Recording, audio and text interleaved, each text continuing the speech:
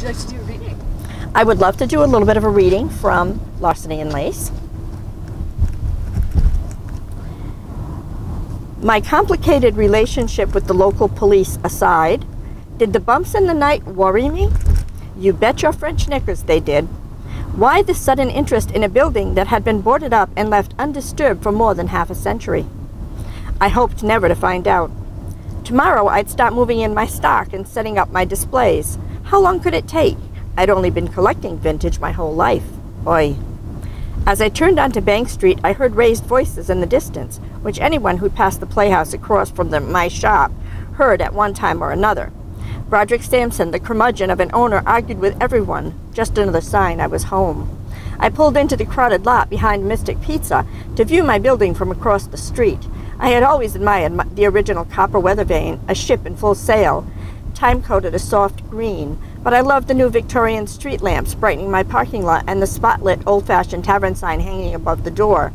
Vintage magic in bold white on a dark eggplant colored shield.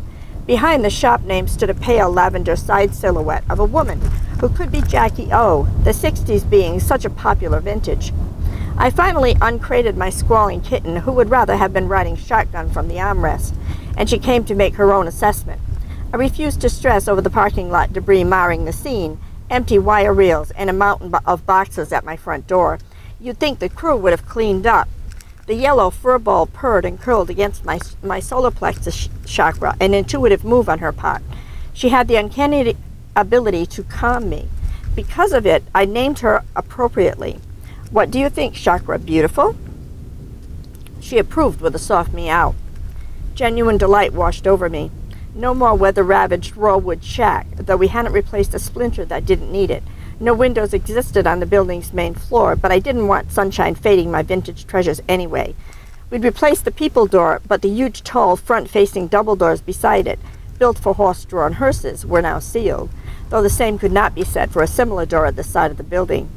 In front, however, their sheer size, in lavender with eggplant crossbeams, made the stage building pop. Magical colors, according to Aunt Fiona, lawyer, godmother, and witch. Sage, the herb to clear negative energy and the color for prosperity. Lavender for harmony, purple for wisdom. In this incarnation, vintage magic oozed character and charm, leaving its day as a morgue then a funereal carriage house to the history books. I moved Chakra from my lap, drove across Bank Street, and pulled straight into my smooth, new tarmac parking lot. I, did, I had yet to see the transformation inside. Between the New York job and condo to sublet, I hadn't been back in the last two weeks. But the minute both were done, I packed seven years of my life into a funky rental and beat my ETA by an hour. As a result, Dad, Aunt Fiona, Eve, my best friend, and Nick, my hunky Italian boy toy, weren't here yet. They were due back. They were due to crack open the secret room with me. Secret being relative.